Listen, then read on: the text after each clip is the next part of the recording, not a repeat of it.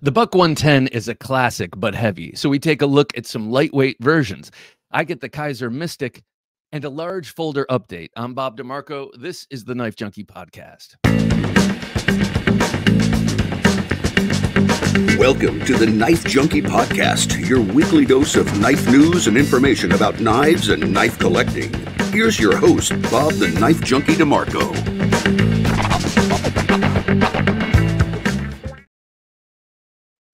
Had a couple of comments I liked this week. Well, I had a lot of comments, but two of my favorites were the first one.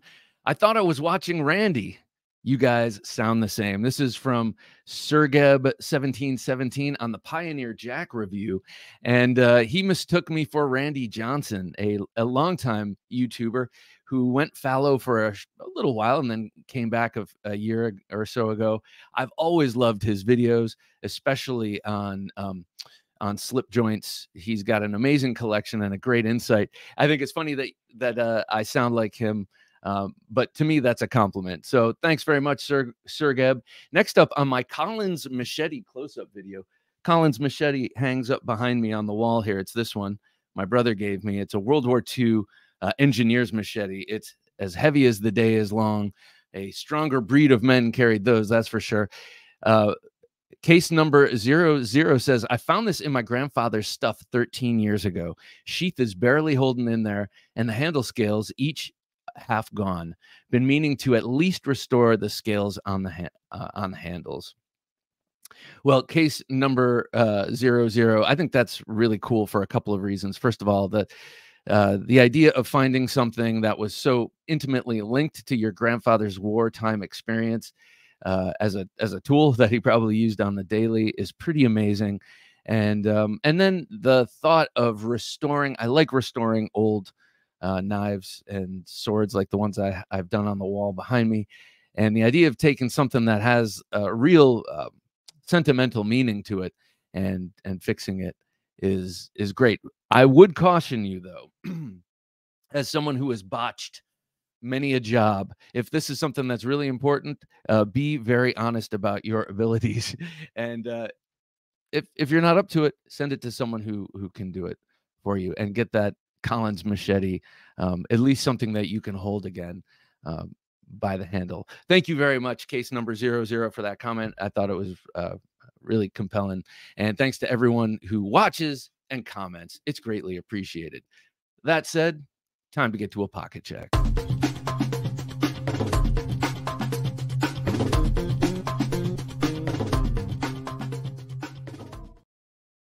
Front right pocket today was the beautiful and venerable Model 2 from American Blade Works. Uh, this is the a titanium um, a titanium liner lock. I'm sorry, I kept wanting to say frame lock.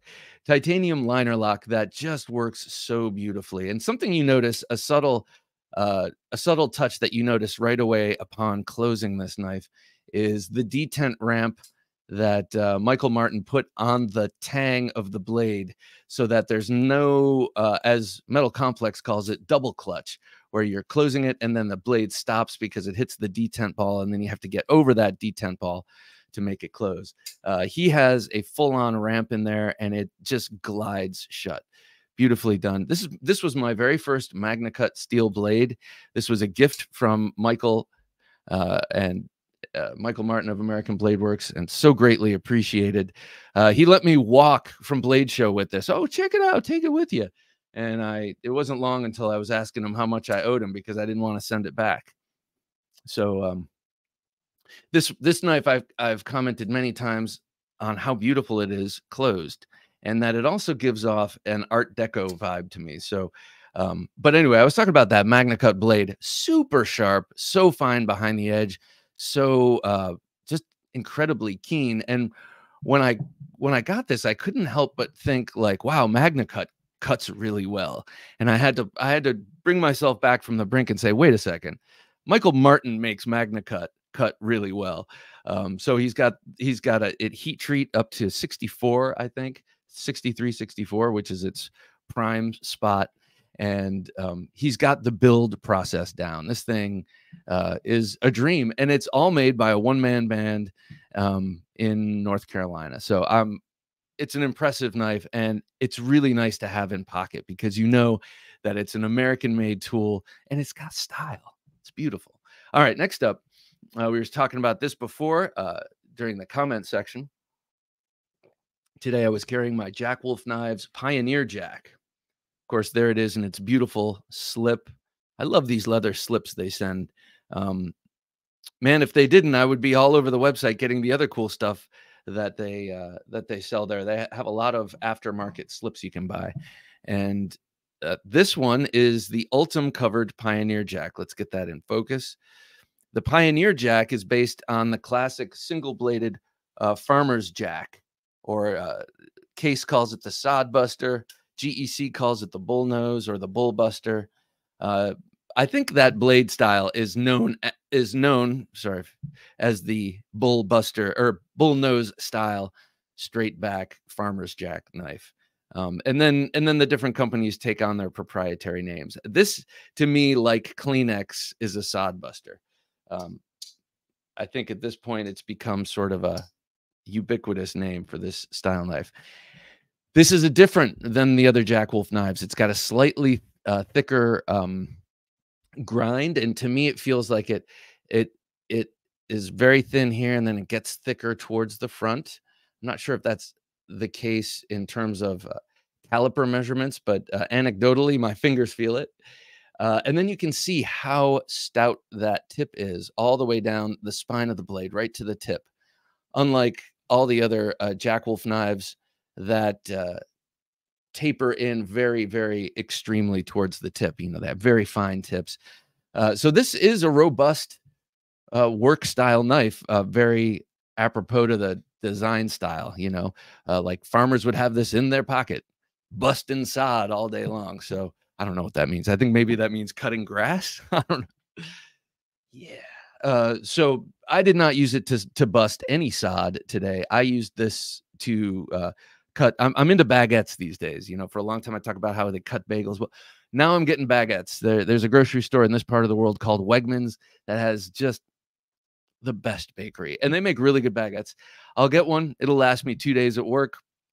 Uh, this is what I've been using this for primarily. What can I say? I'm not a sod buster myself. I'm more of a, a bread buster and this thing does a great job. I love the uh, Ultem, the color of the Ultem next to the blasted gray titanium.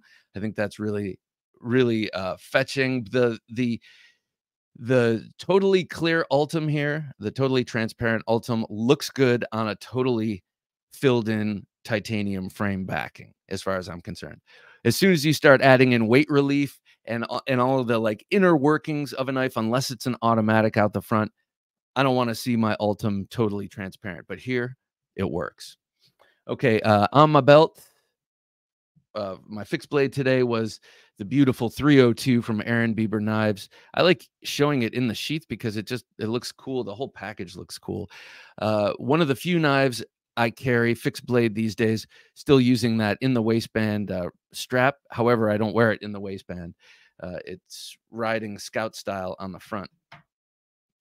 And uh, this knife is just um, man, it really it's firing on all cylinders for me because it's giving you the utility of a Wharncliffe with with the way that edge is oriented to the handle, but it's actually a clip point, and you've got a very deep hollow ground swedge on the top, and you've got a a a slight belly on the blade, but you get the benefits of a straight edge, you get the benefits of that curve, slight curve on the edge, and a point down where a Wharncliffe would have the point. So this this design is just is I love this design. It's really uh, light and unobtrusive to carry. It just like it's just hangs out on the belt until you need it. Uh, the Tsukamaki wrap I think makes it a little bit lighter. He also he also uh, uh, Aaron Bieber also offers this knife in uh, bone jig bone, which is beautiful, and then also in a in a um, G10 Burl G10. Uh, those all look great, but to me, it's all about this wrap. He does gorgeous job on the wrap. Uh, that's white ray skin under there, and then this epoxied lace uh, done in the traditional style. Just uh, the way it terminates up here at the uh, the way it's knotted up here at the um, uh, pommel is just beautiful. And uh, the result of all of this beauty is that it feels great in hand. You get incredible grip with a Tsukamaki grab, uh, grip because you have that uh, those alternating peaks and valleys where your hands and your your fingers and your fat of your palm just nestle in there. So great, great, great knife. I carry this uh, so that uh, if I'm going to draw it with my right hand, it's drawn in the reverse grip. And then last, um, for emotional support, a strange choice, uh, one that you don't see me carry often uh, or talk about often.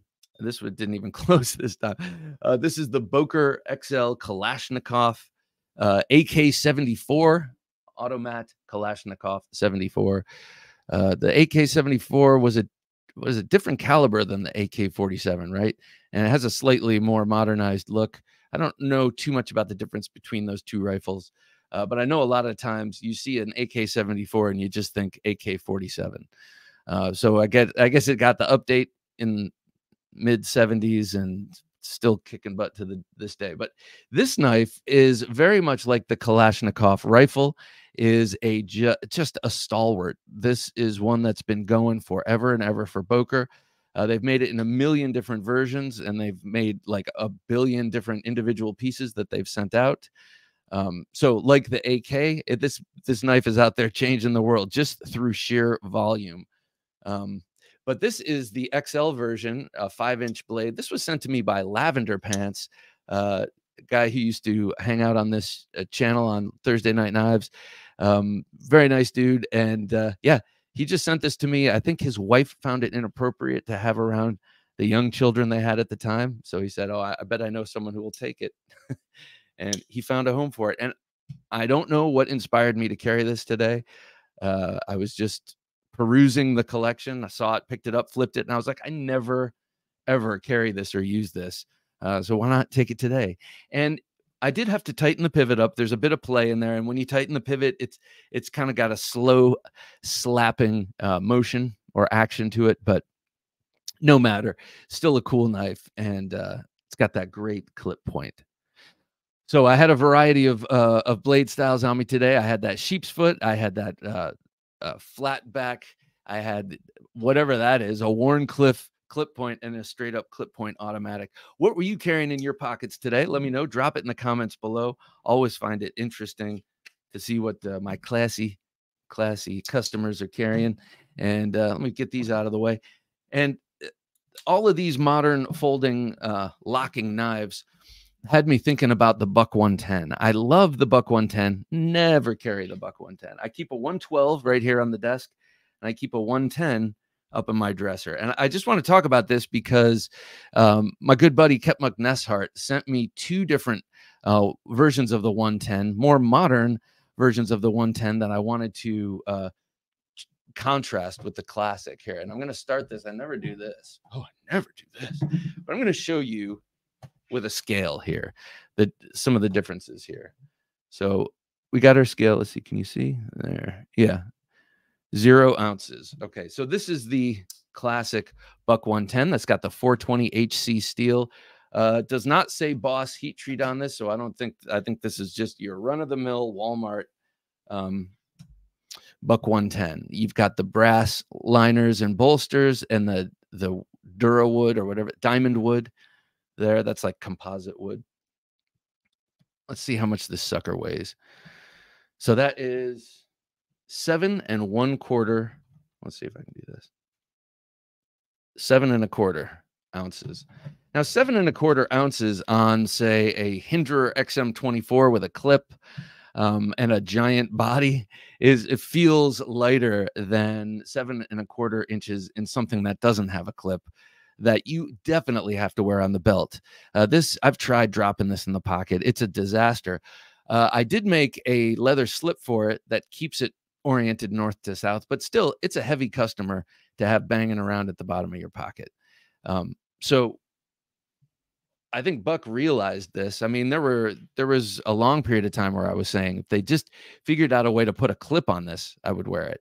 Uh, I would carry it because it is so classic and beautiful, and it does have that incredible uh, clip point. Just got a beautiful, iconic clip point shape. So anyway, Buck heard the call, and you know they've been making lightweight versions for a long time. Actually, they they've made the plastic injection molded one for twenty bucks for a long time, and that thing is so cheap.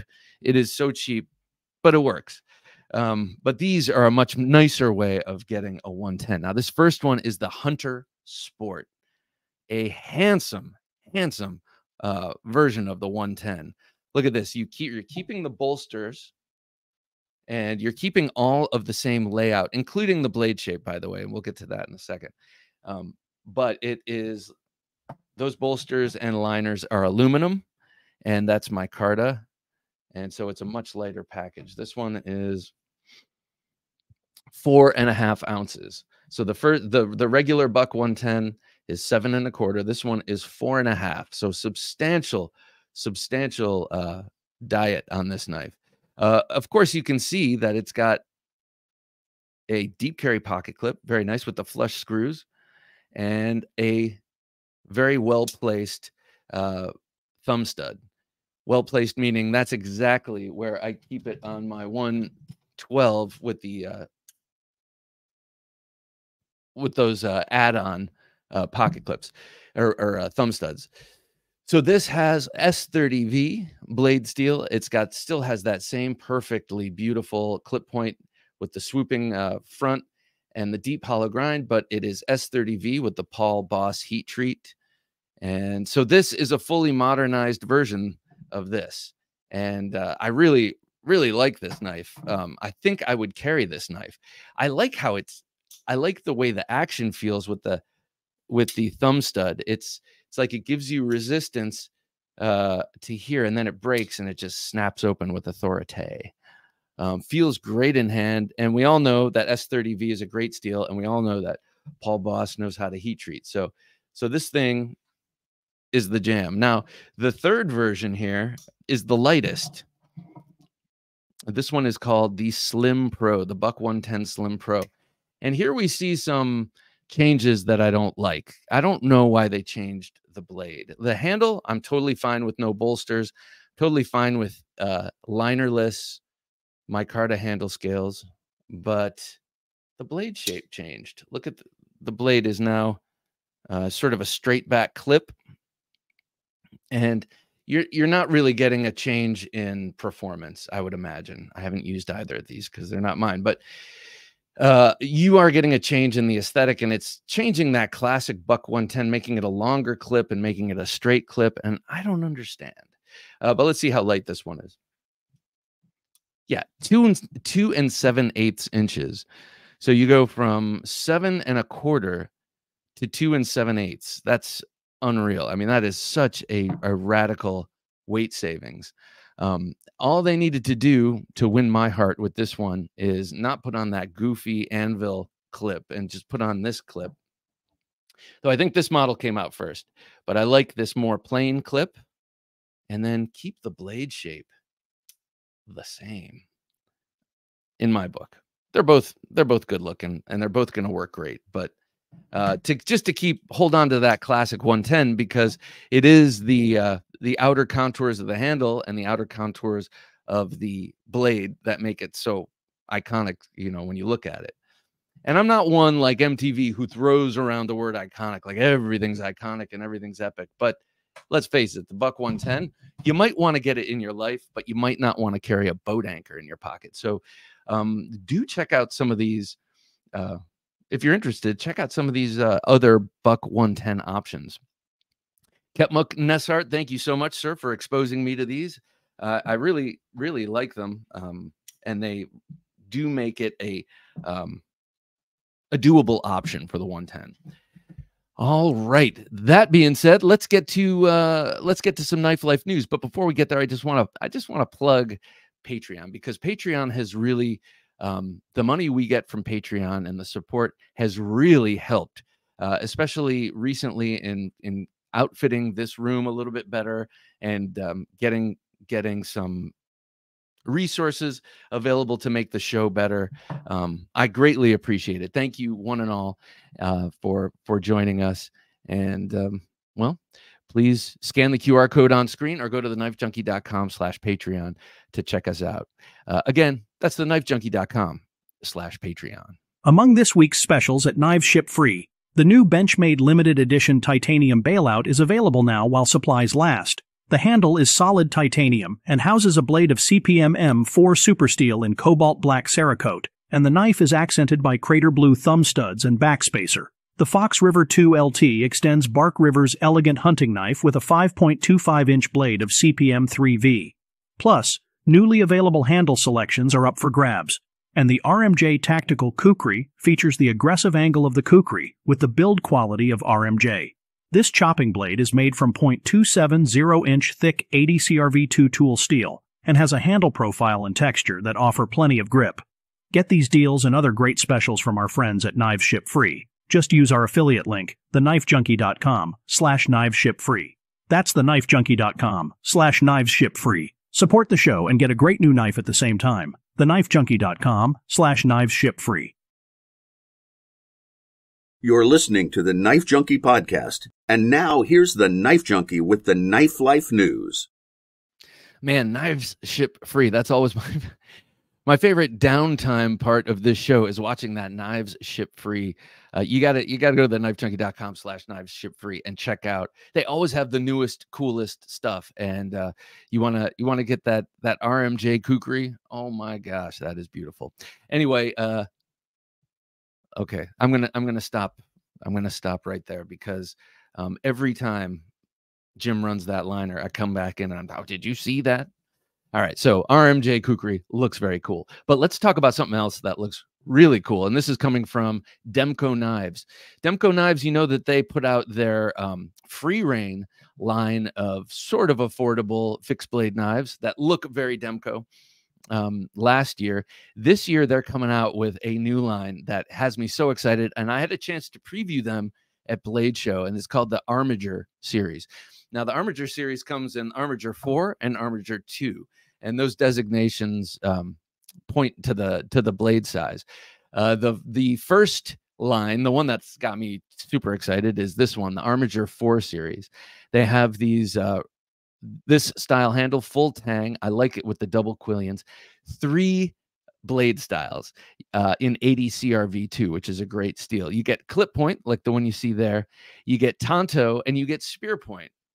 And the one that I will be getting is the spear point because it's bayonet ground and it's sharpened on uh, the first third of the top side too. So just very nice. That's not something we see often, uh, especially standard. So it's got a, a semi double edge on that one.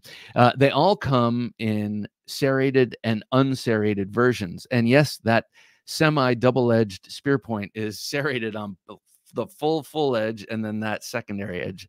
Uh, and then there's the tanto and the clip, and those are serrated as well. So basically, six knives in the four inch line and then they do a two inch line. And the two inch line is not in 80 CRV, it's in a more budget steel, but a proven budget steel, 40 34. That's a blade uh, steel we've seen cold steel use a lot. My uh, my big Laredo Bowie is out of 4034 steel. And uh, yeah, it's it's nothing to write home about, but it's no slouch either. It's a modern steel. So this two inch line, look at that little guy. That's a shark's foot, the the ugly but charming um, sheepfoot design from uh, Demko knives, and uh, I say it's ugly. I I I I love to hate it. It's sort of like ET. Um, but anyway, uh, you can get this or a clip point, little two inch, twenty dollar two inch knife. Uh, these are made in Taiwan. You know that the Demko brothers have some heavy connections over there in Taiwan and know how to get a an amazing knife produced over there. Uh, I do like their sheaths on all of their fixed blades, the way they're kind of uh, anonymously squared off and they put uh, the signature on there, that Demko signature. I think it looks cool. These are available now at the Demko website. Uh, go check those out. Uh, really exciting um, addition to their lineup. I love seeing what they're doing post Cold Steel. Uh, Benchmade, you saw in the Knives Ship Freeliner there.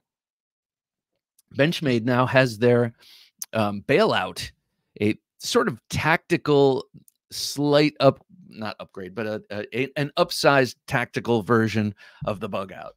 Uh, so you get the you get that traditional bailout, but now in titanium. So it used to be not used to be, but the original um, bailout is the contoured, checkered, uh, anodized aluminum. Beautiful. But this is flat slab blasted titanium, which is also beautiful. I do not have this knife, but I've always admired it from afar because I do know how awesome the bug out is. Uh, and this just seems to me like this is Benchmade at its best. Not necessarily this titanium version, but uh, when they do things a little bit differently, it seems to me like their entire product line is the same, except for some exceptions. And I don't know. This is one of them to me. Uh, the tie replaces the aluminum, but the M4 blade remains. We all love M4, and Benchmade does M4 really well. My experience with it was with my Contego, which I unfortunately no longer have. Uh, being Cerakoted in a color they're calling cobalt black, which I love. I, we all know cobalt blue and how rich and beautiful cobalt blue is. So I guess imagine that with some black. Uh, and then the hardware is in something they're calling Crater Blue, which is kind of a proprietary um, Benchmade color. Uh, they made a thousand of these, and they're available now. If you're a Benchmade fan, I would jump on these. I don't think they're they will last long. Um, if you miss out, I'm pretty sure you can get original goat scales and, and other aftermarket scales, but it's kind of cool to get the real deal right from the company. All right, next up, something else that's pretty cool uh, from a company that I absolutely love, Artisan. They have won my heart uh, over the past couple of years. But uh, Artisan has a new contest called Your Design, Our Creation. And yes, it's exactly what you might imagine. Uh, over the month of September, they had uh, they were accepting designs for um, for production, and the winning design wins a design contract with Artisan Cutlery, which is pretty damn cool.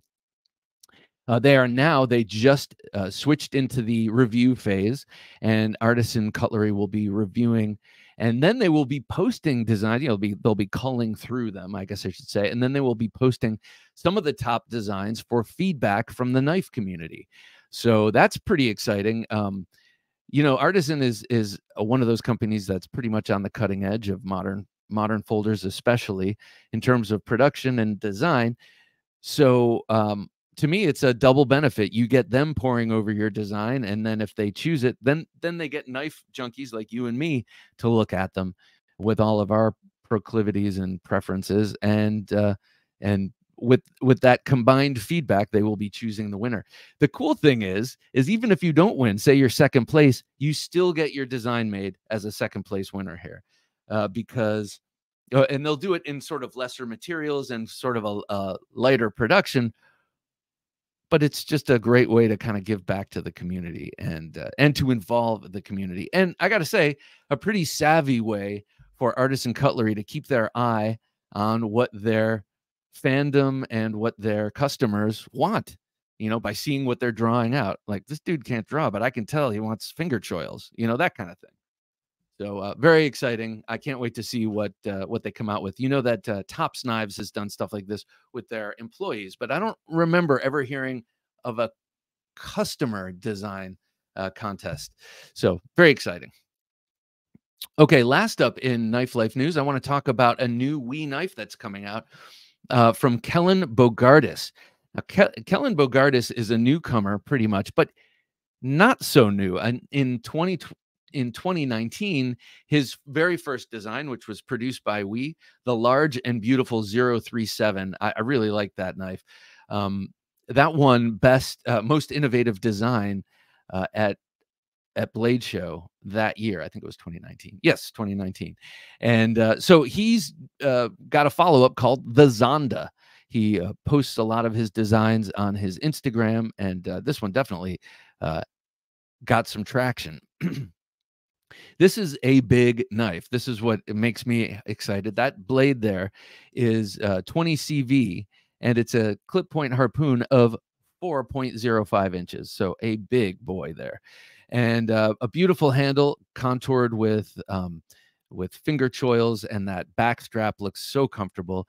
Uh, but it's got so it's got the limited edition finishings that we've been seeing a lot from WE knives from like the Xiphias and and some of their limited edition um, drops. But this is not limited edition. This is a regular production knife. So what I'm talking about is uh, you if you can uh, if you're looking at this uh, uh, handle right now, you can see the contoured handle slab, and then there is a and some sort of exotic carbon fiber. They're putting different carbon fibers and inlay materials there, and then there's a piece of titanium framing it over top. So it's a it's it's a more complex build.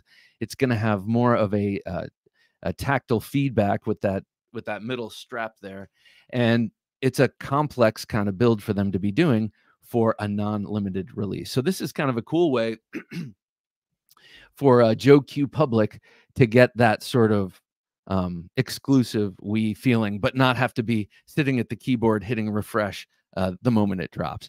Uh, only 4.17 uh, ounces, which is pretty damn good for a 4.05 inch bladed knife with a hand rub finish, by the way. And these things are available now. So if you're a WE fan or a budding uh, Bogardus fan, you might want to jump on this uh, as it happens. All right, people. Well, that's uh, all that's happening in knives this week. Um, we will get to the state of the collection coming up, where we're going to take a look at a new Civivi and a new Kizer that um, I got to say, I'm really over the moon for. All right, let's take a look at the Knife Junkie podcast. Don't take dull for an answer. It's the Knife Junkie's favorite sign off phrase, and now you can get that tagline on a variety of merchandise, like a t shirt, sweatshirt, hoodie, long sleeve tee, and more, even on coasters, tote bags, a coffee mug, water bottle, and stickers. Let everyone know that you're a knife junkie and that you don't take dull for an answer. Get yours at theknifejunkie.com slash dull and shop for all of your Knife Junkies merchandise at theknifejunkie.com slash shop. And now that we're caught up with Knife Life news, let's hear more of the Knife Junkie podcast. So, this first knife in the state of the collection, the Civivi Synergy 4, uh, was a knife that when we first made this design, I went bonkers because I remember this Jim Young design from the early 2000s. It was uh, it was in aluminum and it had a sort of a Eddie Van Halen guitar look on the anodization, but that that overall profile was there. Uh, and I always thought it was really cool. Um, but it went away for a long time. And then we and uh, got together with Jim O. Young and rehashed the design. Um, the WE Synergy was a smaller and you know premium production, and then they came out with the Synergy Three from Civivi, which was a small version of this knife, and now they have the Synergy 4 and I could not hold myself back. So that's a four inch blade. It comes in a um, Tanto here or an upswept uh, drop point or trailing point, trailing point, upswept drop point. Yeah, uh, modified. And uh, you've got this incredible ergonomic handle. So you can see from looking at it that it's going to be comfortable. Uh, but in hand, it just melts. It melts in there because in cross section, it's contoured. And then it's got this radiating pattern of uh, concentric circles coming from the pivot. So the grip and the feel, just the texture feels good on the skin, or at least on my hands. And uh, you get a real positive grip there. But what do I love about this knife? Man, I love that Tanto blade. It reminds me a little bit of um, well it's that it's that it's a blend of the japanese and the american tanto uh, with the heavy facet up front but the gentle sweep on the top. Um, you've got a belly there and then you've got a point that is pretty much in line with the top of the pivot. So it's not such an inaccessible uh, tip when using it in draw cuts and that kind of thing but to me this is uh you know this is tactical knife all day long. It it's just black as the day is long, sharp, long, thin. That blade is ridiculously thin and sharp. And uh, with that Tanto, it's just, I don't know. I don't know. It's just a tactical monster. Uh, I want to get the. Um, that sounded goofy, I know, but but to me, it's like a. It, it really, even if you're not living a tactical lifestyle, even if you're living a suburban dad lifestyle, but that is your aesthetic, man, it nails it. Uh, Tomas Alas has uh, one on his channel with the upswept, and it was a real hard decision for me, but uh, I, you know, I just kept coming back to the Tanto. Uh, but in his video, he makes the uh, the upswept blade look very uh, appetizing. So uh, I might have to do that too. So really, really psyched to get this uh, in this design in particular in my collection after years of admiring it in its various forms. And then next up, this one, Manaj. I love this. This is the Kizer Mystic. Um, when this came out, this is a Paul Munko design. And uh, when this came out, I was smitten immediately. I saw that double peaked uh, Bowie harpoon style blade and and how it marries up with that handle. Um, and the pommel uh, and the whole the bolster lock, everything about it. I was immediately drawn to it aesthetically, and then I found out the story behind it. Called the Mystic Paul Munko hails from Connecticut, Mystic, Connecticut, a maritime town, a whaling town, and uh, back in the day when the entire nation, the entire world ran on whale oil for a long time. People, everything we did included whale oil, so it wasn't just us being mean to our fellow mammals. Uh, it was an industry, serious, serious industry. And uh, this knife pays homage to that. And I love that. I, I I read Moby Dick a few years ago, and I say read, and I'm throwing it in air quotes because I listened to it online. I listened to the book on tape, so to speak, and had it read to me while I drove. And it was an amazing book that I knew I would never get through if I were to read it because I can't read for more than five minutes without falling asleep these days. It's just how it is. My only reading time is at night, and then that's it. Uh, but but this knife really captures that spirit. Uh, a the harpoon blade, yes, that the whole uh, curve looks sort of uh, whale like, and the materials, the the combination of the materials that green linen micarta next to the this sort of blasted titanium and then with a Rex 45 blade. That's the part I, I should have led with. The blade is Rex 45, uh, which is has low chromium carbides in it, which which makes it patinaable. And you're like, yeah, but that's not the main thing about this blade, uh, about that blade steel, Bob. Rex 45 is incredibly hard. You can get this thing up to uh, 67 Rockwell, but it's not brittle. It maintains uh, a, a uh, astounding toughness for that for that hardness, and uh, and that's done by elim el eliminating the chromium carbides. Now I'm no chemist, but I know that chromium is something that helps things um, helps with corrosion resistance. So you you reduce that to increase the toughness, and it results in a blade steel that can patina. So I don't know if you can see this so far, but I've been cutting everything. Uh, I can see a little patina work in there if if I move it in the light. Um, but I'll just keep cutting my meat with this for the next couple of weeks, get that nice patina on there. And then what I'm trying to say is then it will really, really embody that whaling spirit because it will have an an old weathered looking blade uh, on the rest of this knife that already fits that theme. So I think the choice for Rex 45, never would have thought of it myself. I don't know. I don't really know Rex 45 from a hole in the wall, but now that I've read about it, uh, what a cool choice and kind of a daring choice, I think, uh, but very, very cool choice on this knife. So I really look forward to seeing how this knife patinas and uh, how it grows. Paul Paul Munko is a really interesting young talent. Um, he first came out with the Kizer Comet and then the Clairvoyant, which is also a large knife, more of a sheep's foot. And, and, and both of those were very tempting to me. But when this came out, there, I had no choice. It wasn't a matter of temptation. It was just, uh, I had no choice. I had to get it. Uh, so just a beautiful design. So excited to have this and carry it. Oh, and by the way, uh, yeah, it's just a ridiculous drop shut knife. I mean, it's got the action of like a Towser K. So just outrageously cool. All right. All that being said, this one kind of fits into the realm of where we're going here. Maybe it's slightly south of it, but I'm talking about large folders.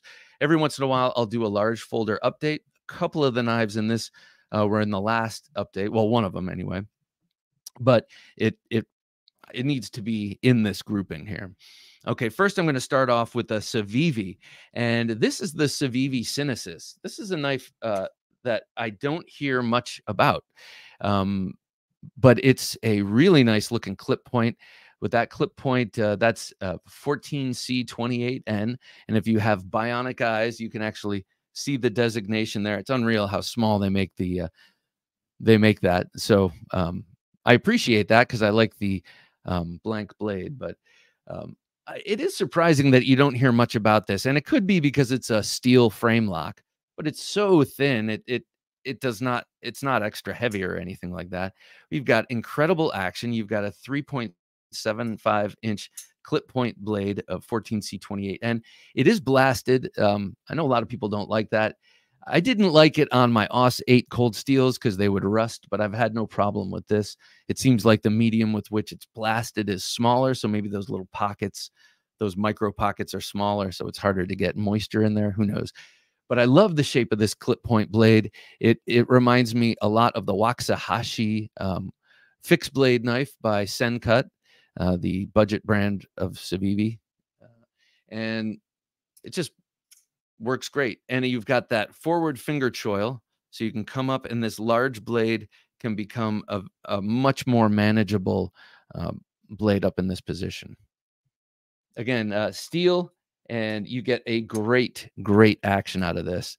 Inexpensive. This was 50 bucks on Amazon, and this uh, is a very nice um, burlap micarta. Burlap micarta is very, very uh, catches catch you know sometimes it's real crap and uh, you can see the you can see the fibers waving and all that the the the uh, micarta there is very nice okay next up this one has been one that i've been carrying basically nonstop since i got it in one way or another um, as an esk or as a main pocket that's the uh, uh the large pyrite from cjrb uh, also a three well this is like a 3.8 inch blade so getting very close to four inches.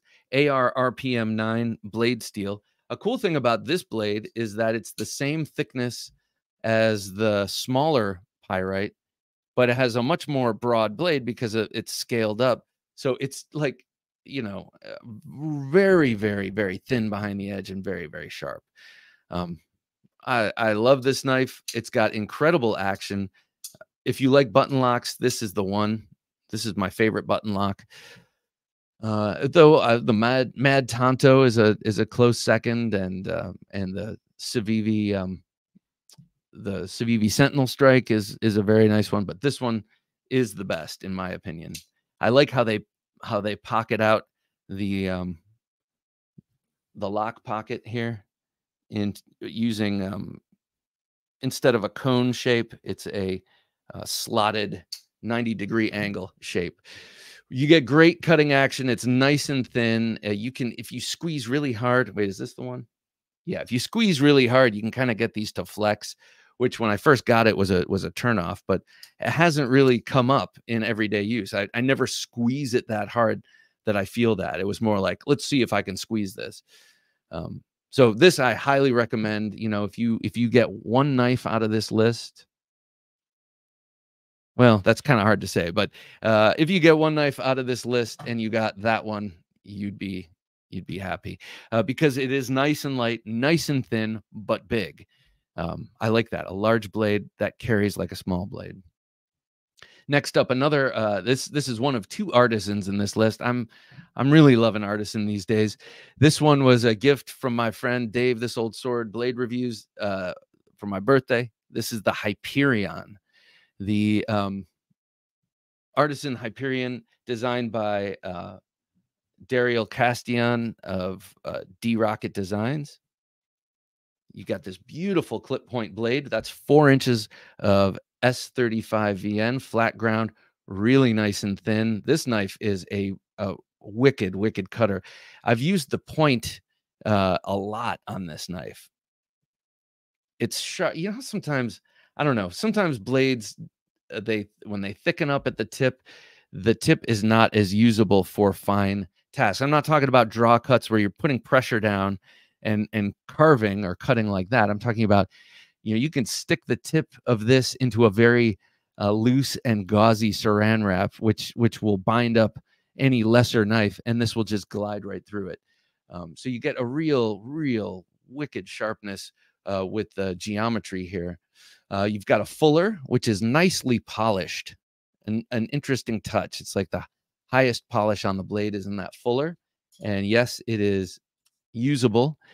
And yeah, you can you can uh, flip it out using the middle finger flick. It's got an overall with that with that uh, diving edge and the wider belly than Ricasso here. It's got a uh, Western feel to it, and then you look at the sort of uh, gun stock shape of the handle, and that sort of completes it. Uh, this always to me looks like a, a a vibrato bar on a guitar, like an older guitar, which is kind of cool. Bolster lock here, very nice carbon fiber. This is a premium for sure. This is a premium um, artisan. They do they do a wide range from you know the very premium to the very budget, and I think they're starting to do a bit of OEM work. Uh, I I I'm not sure, but Rosecraft uses AR RPM nine, so I'm wondering if they're doing some of that some of their OEMing. Uh, but this thing is just exquisite titanium, S35VN carbon fiber, and four inches of uh, really nice action. All right, next up is uh, the other artisan in this grouping. Ordinarily, I would have spread them out, but I'm doing these by size today. Um, and that is the Artisan Xcellerator. Now, this one is a Mike Snody design. Mike Snody, uh, a legend of the early tactical knife scene in the in the late 90s and early 2000s. Uh, he went quiet for a while. I think he was designing belts and finding Jesus and um, making changes, and then he's come back to knife making, at least on a larger scale. I don't know if he ever went away from it, uh, but uh, I I do must say I was surprised to see when um, when this collaboration came out because I reached out to him to come on the show uh, for an interview, and he was a couple of years ago now, and he was like, eh, "I'm kind of out of that game now. I'm doing belts and other things." I was like, "Okay." Um, so very cool to see him back. I, I've always thought his designs had panache and uh, uh, practicality, but with a huge tactical uh, bent to them. This harpoon shape is, I find very appealing. I ordinarily am not too huge into the harpoon uh, on the back of the blade, but to me, this one just does a beautiful job at it. And the design, the handle is very ergonomic. Um, it it is a big, it does take up a bit of a footprint in the pocket. Probably uh, the second biggest footprint in this list, but uh, it's on bearings, and I love a non-flipper on bearings, just a regular thumb stud or opening hole knife on bearings. Just makes it a, a very pleasing experience. Again, AR RPM 9 coated nicely and uh, wickedly sharp.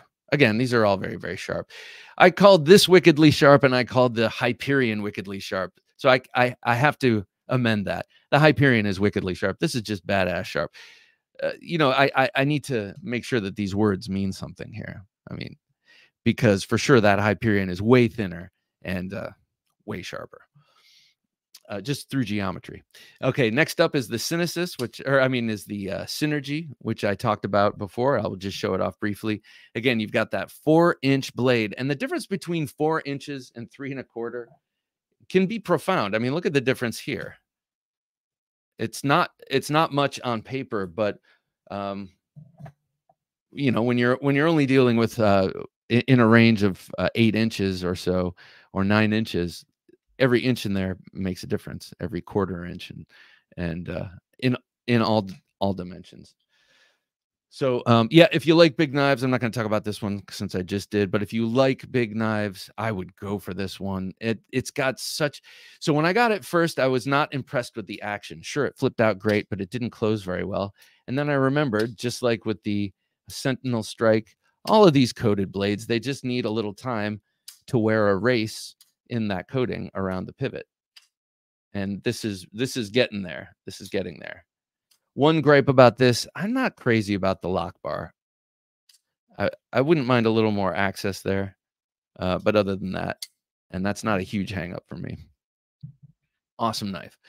All right, next up, this one uh, was an impulse buy, but one that I've wanted for a long time, and it's the SR1 Lite. It was an impulse buy because it's a mere 36 bucks, uh, but it's a big four-inch Tanto blade, and uh, we were talking geometry before and how thin this cuts. Well, this is a wedge, and it also cuts incredibly. I mean, you know, if you put a nice enough relief edge on there, you're gonna you can get anything to cut, and this is really sharp but really robust. That blade steel is why this knife is 36 bucks. That's 8CR13 MOV. Uh, but we know cold steel and their heat treatments, and they really maximize the steel and get the most out of it.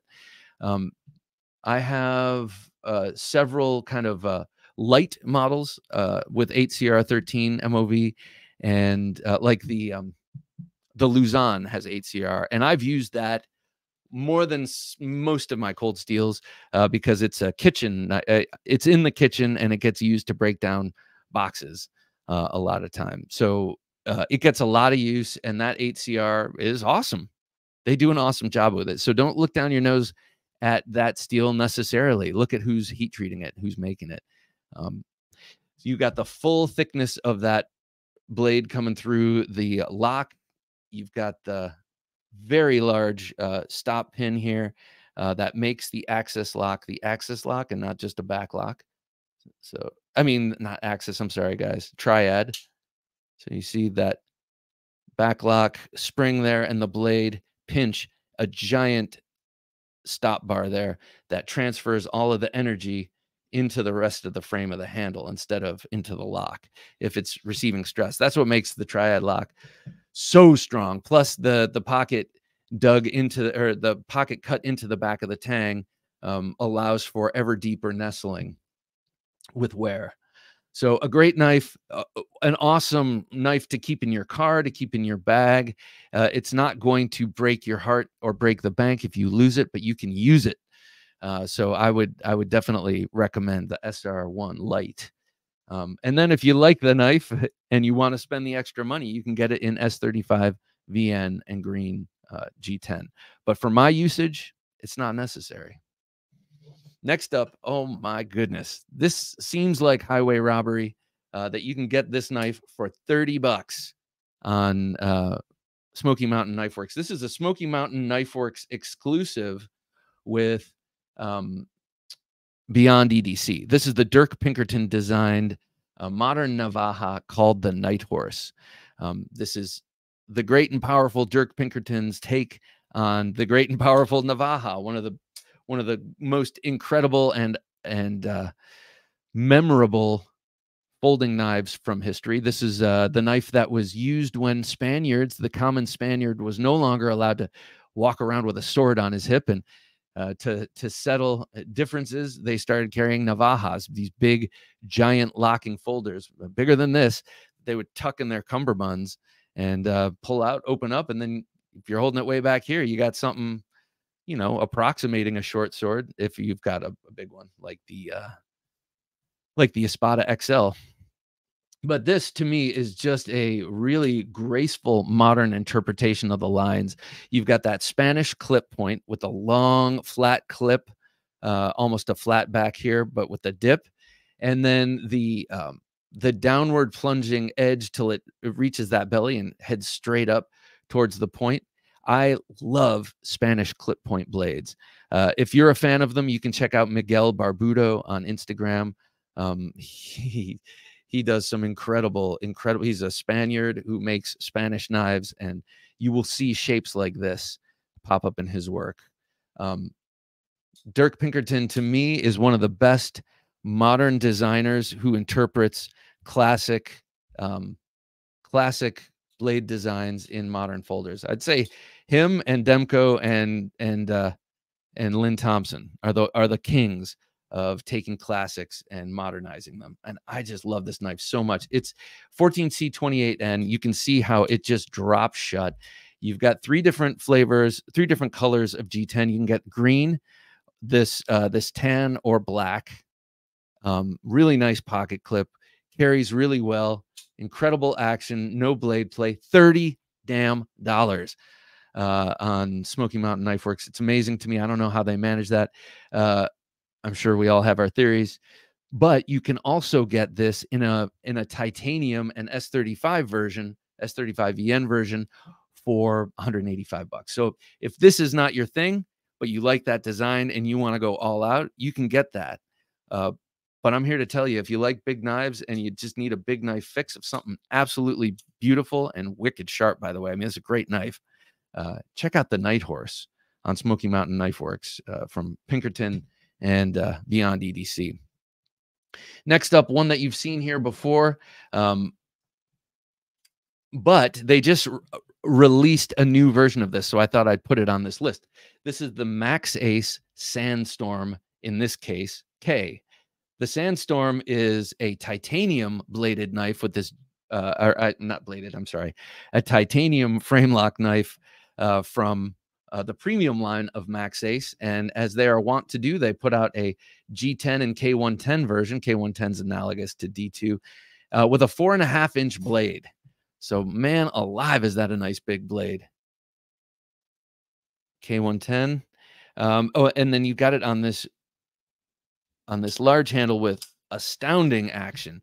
Uh, that big heavy blade does help in um, in with the action. Of course, you get some centrifugal force there. These I thought originally were going to be blade stops when I was looking at it online. They're not blade stops. They're just giant cool thumb studs. There's your your stop bar. Um, open construction, really heavy, uh, not heavy, but heavily built, sturdily built. So you got to check out their new version of the Sandstorm. It's got a sculpted handle. It's got a different kind of a recurve uh, before the a recurve in the blade. It's got a big pocket in the blade, and it looks amazing. Um, but of course, it's not the K110 version, it's the higher end version. So it'll run you a pretty penny. Uh, but if you like big knives, you you must go check it out. Max Ace, they have a lot of big knives and they're all so cool and really well made. And and many of them are just like say 5 to 7 years out of my interest range. In other words, 5 to 7 years ago some of these really big, heavily sculpted Max Ace knives I'd be saving and scrimping to get, but my tastes have simplified a little bit. Um, so that's the Max Ace K110. Um, penultimate knife here. I'm going to use my right hand. Oh, I did it under the camera. is the Lucha from uh, Kershaw and their and their Lucha line. They have um, this in blackwash now. They have it with a spear point blade. They have a, a couple of variations of this, but a really nice um, skeletonized handles with the with the um, ball bearings and the pivots. This is my first and only like really I, here, I'm going to do this over here. This is my first and really only nice um balisong. I have a Baron Sons that's nice and I have a bunch of a couple of old uh, martial arts store specials uh, that are just really cheap, but this is the this is the only one I have that doesn't have blade play and that has bearings in the pivot and I see why uh, the the Bally boys uh, would like that.